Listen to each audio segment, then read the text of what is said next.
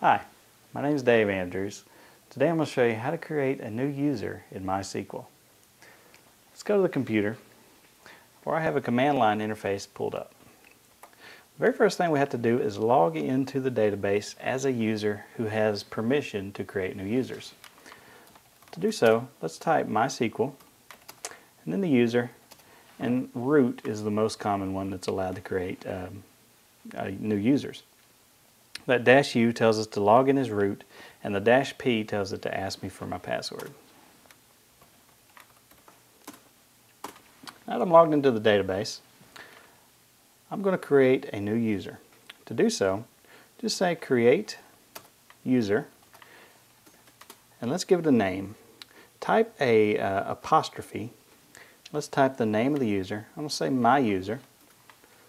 Another apostrophe to end the username and then an at symbol like you do in an email and then another apostrophe and now we're going to type the IP address or the computer that that user is allowed to connect from.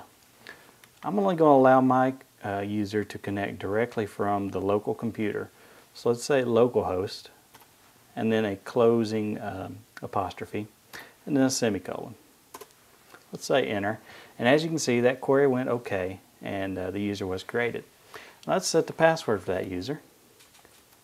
Set password for, and then let's retype our user, my user, uh, with all the apostrophes at the location he's allowed to log into, equal to, and let's say password, all uppercase,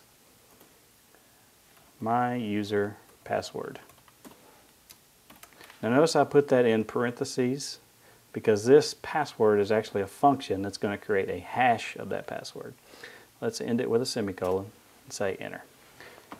Let's log in as that user by exiting, running MySQL again, but this time saying my user, and for the password, my user password.